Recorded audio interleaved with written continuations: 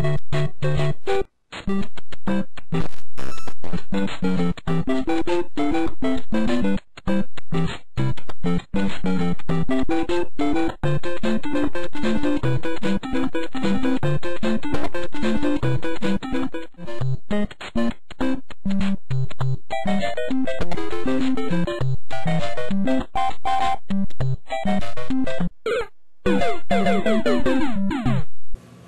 Travis Crew. And I'm Matt Hathaway. Welcome to FHNN.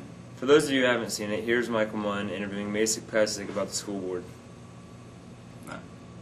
Hello, I'm Michael Munn, and I'm here with Ma- Mason Pesek, the student liaison to the school board.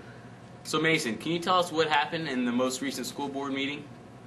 Well, during the board meeting, um, th- there was a motion that was going to be passed which would um, ba- essentially pay for Mr. Rist's um, salary and all of his bonuses while also paying for a $1,200 grant for the tech prep um, program, which was provided by an organization that Dr. Wood has been working with um, to basically help Ohio schools. And they were going to pay us all this just to allow Dr. Wood to keep working with them and have a room available in the school to work on, on more programs for them. But the board voted it down mainly for no apparent reason other than they disliked Dr. Wood. And they additionally, there came to light that they were discussing things behind the backs of two board members, um, Sue Green and John Young, about possibly firing Mr. Patsy over um, criticisms that they basically couldn't back up when brought to light. So, Mason, how do you feel about the school board meeting not being taped?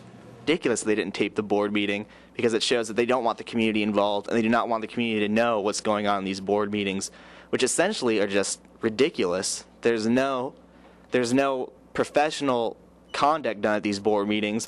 Basically, um, Ms. Cooper and Mr. Ketchum smirk at each other and laugh and giggle and talk to each other while either Mr. Patsy, Mr. Young, or Ms. Gre-.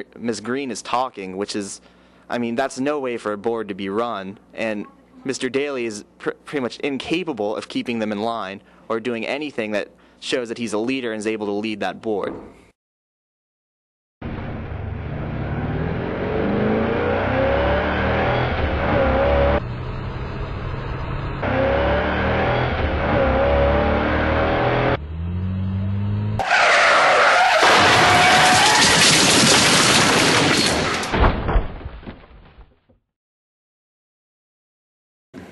Don't drink and drive. Stay alive on prom night.